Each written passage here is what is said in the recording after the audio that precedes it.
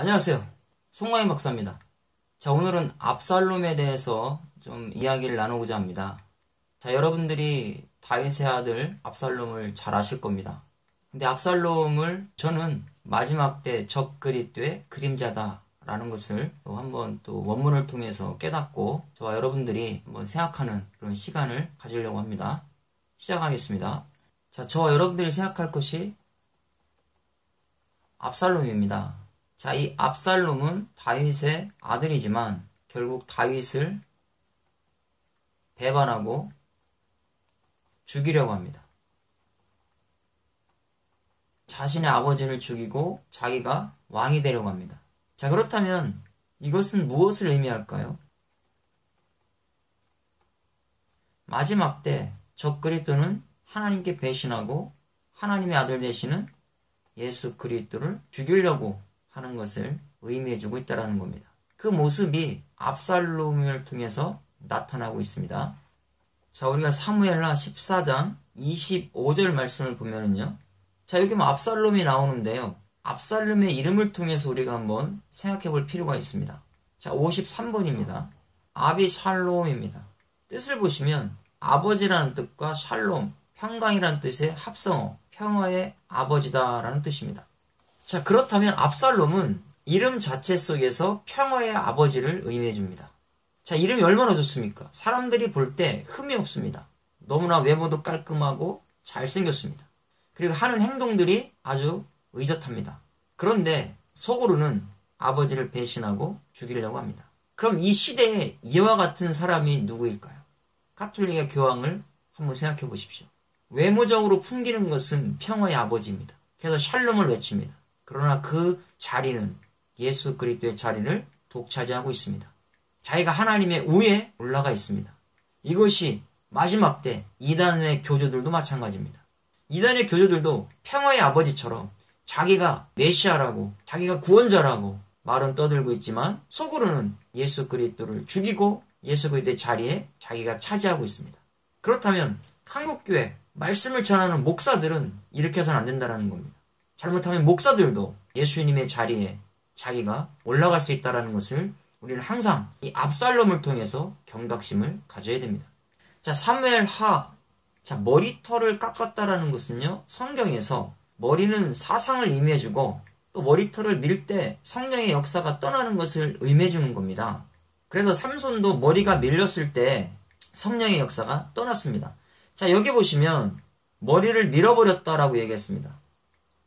계속적으로 머리를 밀어버렸는데 여기 보면 피가 나오고요. 아이가 나옵니다. 피는 어, 히브리어 문법으로 강조 능동입니다. 어떤 의미냐? 남김없이 다 밀어버렸다 이런 의미입니다. 그리고 이 아이는 미완료입니다. 그럼 자라나면 자라날수록 계속해서 밀어버렸다라고 하는 의미를 가지고 있습니다. 자, 이것은 무엇을 의미할까요? 예수 그리스도의 복음의 사상이 올라올 때마다 다 밀어버리는 것을 영적으로 의미해 주는 겁니다. 그렇기 때문에 자기가 스스로 왕이 되려고 아버지 앞에 도전했던 것을 이야기해 주고 있습니다. 그럼 우리도 복음을 복음의 사상을 밀어버려서는 안 된다라는 겁니다. 계시록 가면 바로 666 짐승에 표받은 것을 의미해 주고 있다라는 겁니다. 그럼 압살롬이 이렇게 적 그리스도의 그림자라는 것을 또 어떻게 우리가 알 수가 있을까요? 자, 사무엘라 15장 5절에 자, 백성들이 다윗에게 와서 재판을 받고 절을 하려고 하면 압살롬이 그 사이에서 입을 맞췄습니다. 자, 15장 6절입니다. 자, 마음을 도둑질했다는 얘기입니다. 자, 여기에 보시면 평화의 아버지다라고 얘기해놓고 다윗 왕에게 오는 백성들의 마음을 훔쳐버렸습니다. 도적질했다라는 겁니다. 자, 여기에 이 단어가 가나부입니다. 가나부. 어떻게 도둑질했냐 봤더니 아까 우리가 봤던 머리를 피엘 미완료로 밀어버렸잖아요. 근데 백성들의 마음도 피엘 미완료로 훔쳐버리고 있습니다. 이 피엘은 그들의 마음의 환심을 샀다라는 의미가 되고 오는 사람마다 계속해서 미완료니까요. 환심을 산 것을 이야기해주고 있습니다. 자 그렇다면 이것은 영적으로 어떤 의미입니까? 강단에서 설교는 아주 멋있게 합니다. 외모도 멋있습니다. 그런데 예수 그리스도의 자리에 자기가 앉아 있는 겁니다. 설교를 통해서 주님을 드러내는 것이 아니라 자기를 드러내고 그 성도들의 마음을 빼앗아서 자기가 독차지하는 바로 겉모습은 평화의 아버지지만 속에는 노력제라는 일이다라는 것을 알 수 있습니다. 이것이 압살롬이라는 겁니다.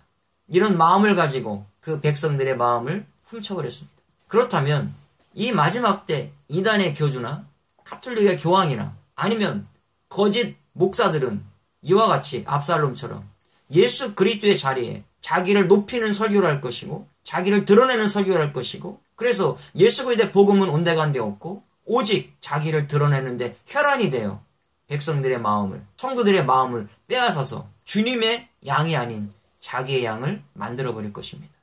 우리는 이와 같은 신앙을 가져서는 안 된다라는 것을 여기에서 말씀하고 있습니다. 자, 사무엘라 15장 10절입니다. 헤브론에서 자기 자신이 왕이 된 겁니다. 자기 스스로 왕이 된 겁니다. 우리는 이것을 생각해 봐야 됩니다. 헤브론에서 자기를 따르는 사람들을 규합하여 결국 다윗에게 도전하고 있습니다. 자, 저와 여러분 헤브론이 어떤 곳입니까?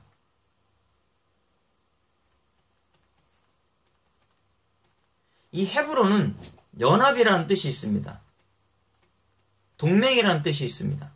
아브라함이 하나님과 연합되고 동맹된 장소가 헤브론입니다. 이 헤브론이 중요한 의미를 차지하는데 결국 압살롬은 거짓 것과 연합하고 거짓 것과 동맹하여 아버지인 다윗을 치려고 하고 있습니다. 그리고 스스로 왕이 되었습니다. 자, 이것은 영적으로 자기 자신이 왕이 되어 하나님 앞에 도전하는 것을 의미해주고 있습니다. 결국 이런 자들은 하나님 앞에 심판받는다라는 겁니다. 예수 그리스도의 복음을 전파하지 않고 교회에서 거짓된 것을 전하여 자기 스스로 메시아라고 이야기하고 있고 자기 스스로 교회의 왕이 되어 있다면 그 사람은 반드시 하나님 앞에 도전하는 사람입니다. 이런 사람들은 압살롬과 같은 사람이라는 것을 말씀하고 있습니다. 그러면 압살롬의 최후가 어떻게 될까요? 사무엘하 18장 9절입니다. 자, 결국 이 노새를 타고 도망쳤는데 그 머리카락이 상수리 나무에 걸려 죽게 됩니다. 자, 이 성경에서 상수리 나무는 아주 중요한 의미를 가지고 있습니다. 상수리 나무는 우울이라고 하는 권세 있는 자라는 뜻에서 왔습니다. 자, 그러면 성경에서 권세 있는 자가 누구입니까? 바로 하나님입니다. 압살롬은 상수리 나무에 걸려 죽었다라고 하는 얘기는 바로 하나님께서 그를 심판하셨다라고 하는 의미가 되는 겁니다. 자, 그렇다면 우리가 압살롬을 통해서 잠깐 살펴봤는데요. 압살롬은 마지막 때 적 그리스도의 그림자라는 것입니다. 우리가 교회에서 목회를 하면서 압살롬처럼 한다면 우리는 하나님 앞에 적 그리스도가 될 수 있다는 겁니다. 그래도 마지막 이단의 교주, 가톨릭의 교황, 또 거짓된 목자들, 복음을 전하지 않고 자기의 왕국을 교회로 만드는 이런 목사들도 마지막 때 적그리스도의 그림자인 겁니다. 압살롬처럼 그와 같은 삶을 그와 같은 신앙을 갖게 되는 겁니다. 그럼 오늘 우리는 이 압살롬이라고 하는 인물을 통해서 백성들의 마음을 훔치면 안 됩니다. 성도들의 마음을 훔치지 말고 오직 목사는 예수 그리스도와 또 신부인 성도들을 하나로 맺어주는 그런 역할을 하면 목사의 역할은 끝나는 겁니다. 그래서 오직 예수 그리스도 신랑 되신 주님을 만날 수 있는 그런 교회가 되게 만들면 되는 것입니다. 오늘 이 시간 압살롬을 통해서 우리의 믿음과 신앙이 올바르게 갈 수 있는 그런 시간이 될 수 있기를 바랍니다. 감사합니다.